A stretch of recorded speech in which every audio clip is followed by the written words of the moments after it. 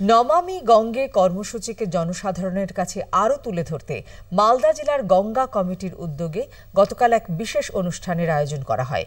রতুয়া এক নম্বর ব্লকের বিলাইমারি ফুটবল মাঠে একদিনের ঘাট পে ঘাট অনুষ্ঠান আয়োজিত হয়।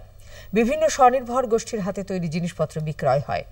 আয়োজন করা হয়েছিল অঙ্কন প্রতিযোগিতা, কুইজ, নাটক, শপথ গ্রহণ, নৃত্য অনুষ্ঠান। এই ঘাট পে ঘাট প্রসঙ্গে বিডিও রাজেশ টোপো বলেন, ক্লিন গঙ্গা, পবিত্র গঙ্গা।